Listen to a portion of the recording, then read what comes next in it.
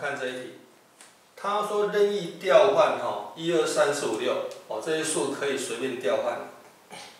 好，那所得的新数中，质数的有几个呀？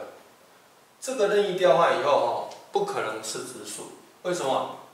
因为呢，这些数全部加起来的话哈，是那个三的倍数，所以它一定哈，你再怎么调的话，它一定都可以被三整除了。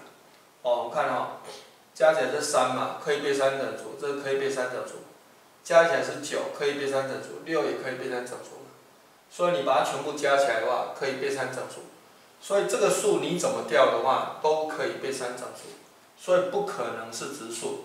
所以他说质数有几个？就零个了，没有，所以答案应该要选 A。